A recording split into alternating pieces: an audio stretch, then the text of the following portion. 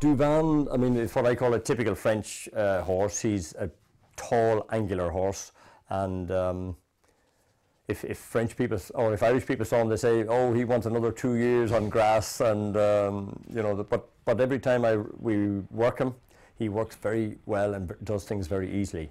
Uh, he's in the Supreme Novice, and that's he's favourite for the Supreme Novice. That's probably the race he'll go. But he could easily go out to the Neptune. But at the moment, he's in the Supreme Novice. Lovely, big chasing type of individual uh, who does things very easily.